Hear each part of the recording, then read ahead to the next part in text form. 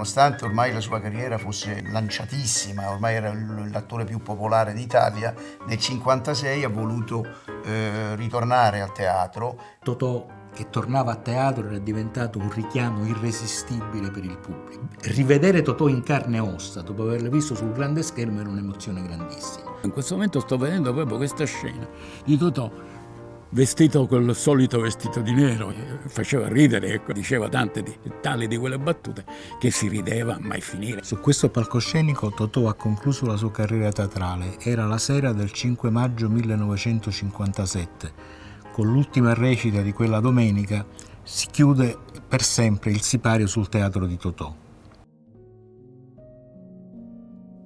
Al Politeama di Palermo mi disse non ci vedo, è buio pesto. È veramente una tragedia, francamente, però certo, era rassegnato, ma ci si rassegna per forza. Che fai? fatto che fosse cieco non si notava. Chiaramente così notava perché fumava e chiaramente lui quando accendeva la sigaretta si avvicinava con, con, proprio con le dita e, e accendeva la sigaretta. È un Totò umano, fragile, però è un Totò che ha sopportato tutto con una dignità enorme e la dignità è proprio forse il tratto dominante della sua vita.